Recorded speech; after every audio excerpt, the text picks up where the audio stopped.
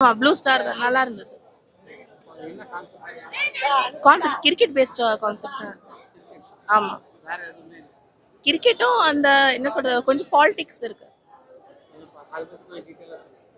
பாலிடிக்ஸ்னா அந்த இப்போ படம் பேர் ப்ளூ ஸ்டார் தான். அந்த அம்பேத்கர் இதெல்லாம் காட்டுறாங்க.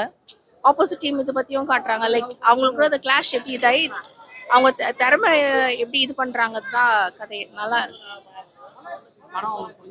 புரிஞ்சது புரிஞ்சது. அப்படி கிடையாதுங்க. நைன்டிஸ்ல நம்ம எல்லாரும் என்ன சொல்றது? நீங்க என்ன அவ்வளோ பெர்ஃபெக்ட்டா இப்போ நானுமே என்னோட லுக்குமே பாத்தீங்கன்னா ரொம்ப டிஃப்ரெண்டா இருக்கும். மூக்குத்தி எல்லாம் போட்டுட்டு அந்த மாதிரி.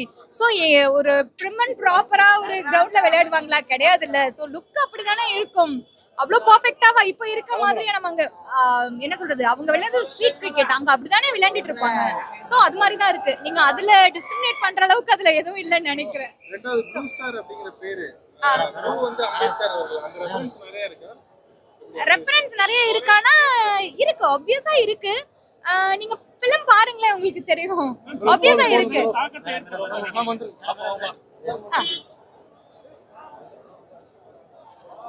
Okay thank you thank you என்ன கேட்டீங்க?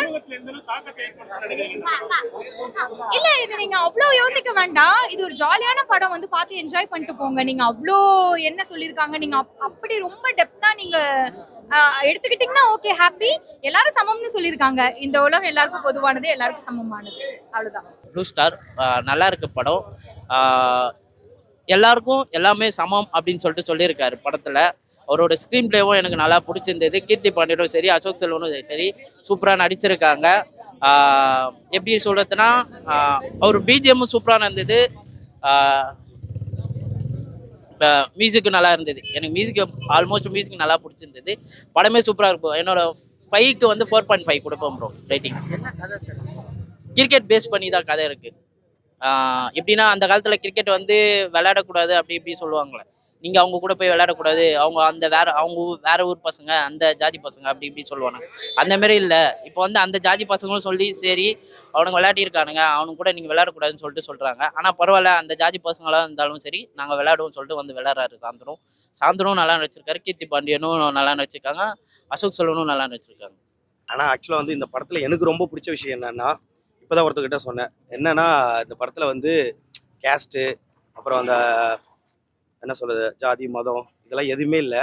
எல்லாம் ஒன்று சேர்ந்தா ஒன்று ஜெயிக்க முடியுன்றாங்களே அது இந்த படத்தில் காமிச்சிருக்காங்க.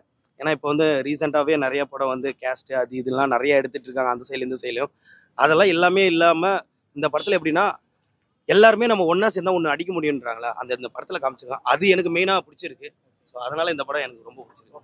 ப்ளூ ஸ்டார் படம் வந்து கண்டிப்பாக பார்க்கக்கூடிய படம். ஏன்னா இன்னைக்கு கிரிக்கெட்ன்ற ஒரு விஷயம் வந்து இன்னைக்கு நம்மளுக்கு மதம் சார்ந்து சாதி சார்ந்து எல்லாத்தையும் சார்ந்து கிரிக்கெட் அவ்வளோ உள்ளே வந்துருச்சு.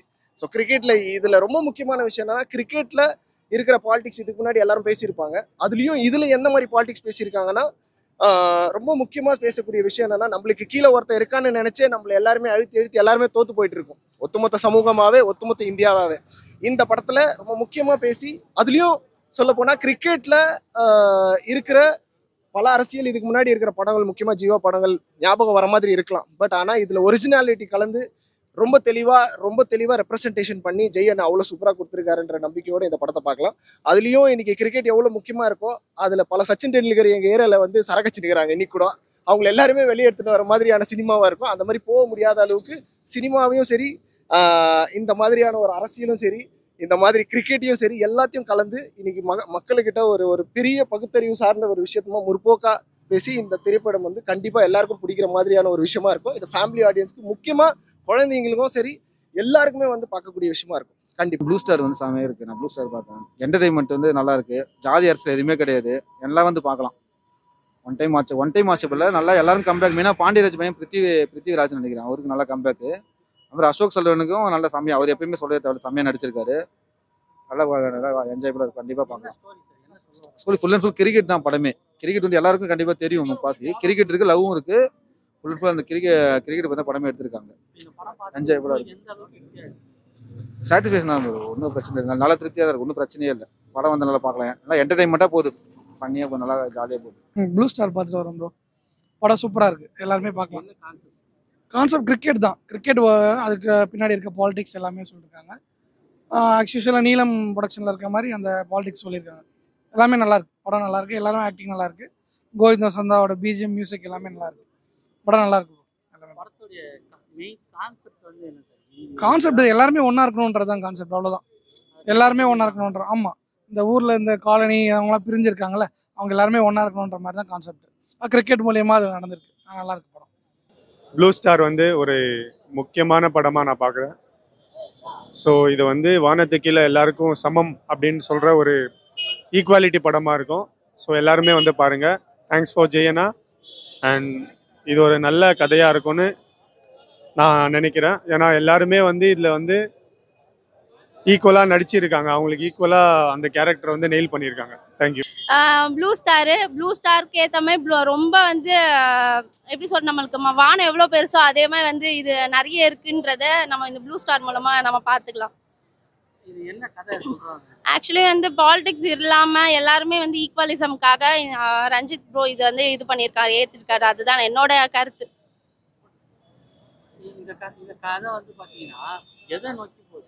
இது வந்து என்டையர்லி வந்து மிடில் கிளாஸ் பீப்புளுக்கும் ரிச் பீப்புளுக்கும் நடக்கிற இது. நம்ம எல்லாரும் ஈக்குவல்ன்றதுக்காக காமிக்கிறது தான் இது. என்டையர் கிரவுண்டாக இருக்கட்டும் எதாக இருந்தாலும் எல்லா பேஸுமே என்டையரி ஈக்குவல்ன்றது தான் பாலிடிக்ஸ் இல்லாமல் நம்ம எல்லாருமே ஈக்குவலிசமாக இருக்கணுன்றதுக்கு தான் இந்த மூவி எடுத்திருக்காங்க ரஞ்சித் அண்ணா. ப்ளூ ஸ்டார் படம் ரொம்ப நல்லா இருக்கு. எல்லாமே இந்த படத்தில் ரொம்ப அருமையாக பண்ணியிருக்காங்க. ஸ்க்ரீன் ப்ளே எடிட்டிங் எல்லாமே சூப்பராக இருக்கு. ரொம்ப நல்லா இருக்கு. கிரிக்கெட் பேஸ் பண்ண கிரிக்கெட்னால என்னென்ன அரசியல் இருக்கு அதை விளையாட விளையாடுறதுக்கு எவ்வளோ கஷ்டங்கள் இருக்குன்ற ஒரு அரசியலை பற்றி சூப்பராக பேசியிருக்காங்க. நல்லா இருக்கு. எந்த மாதிரி பண்ணியிருக்காங்க? எந்த மாதிரி சொல்லியிருக்காங்கன்னா விளையாட்டாவே விளையா இது விளையாட்டு பண்ணனா விளையாட்டுத்தனமாகவே சூப்பராக அழகாக சொல்லியிருக்காங்க. கேம் சம்மந்தப்பட்டது. தான் கிரிக்கெட்டை சம்மந்தப்பட்டு அதில் நடக்கிற அரசியல் சம்மந்தப்பட்டு நடக்கிற ஒரு விஷயமா காமிச்சிருக்காங்க.